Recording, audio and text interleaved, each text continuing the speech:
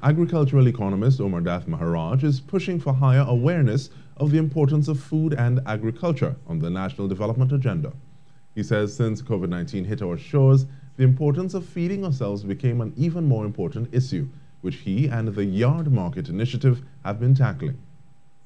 And there was a lot of emphasis on whether Trinidad had the ability to feed ourselves, and people became increasingly conscious about home gardening, about the state of agriculture and so on, and those conversations were buzzing. And my wife and I took the opportunity to, of course, actively engage and empower families through this forum. We basically have been collecting heirloom seeds and by extension providing seedlings for some time and the whole gamut of education that goes with home gardening.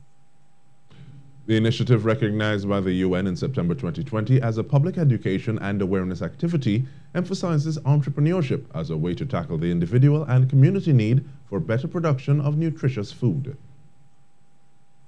We have attracted several agro-processors, young farmers and so on, or even people involved in craft to become part of this movement called the Yard Market. We have also used it as a vehicle, as I said, for public education and awareness, not only as a business hub, so that we produce food through that United Nations call in September 2020, and the activities we did at the market, we were recognized by them. The agroeconomist says we must maintain a sense of urgency and crisis about food security and start planning food development to avoid price reduction or production and market volatility, resulting in a possible food chain crisis.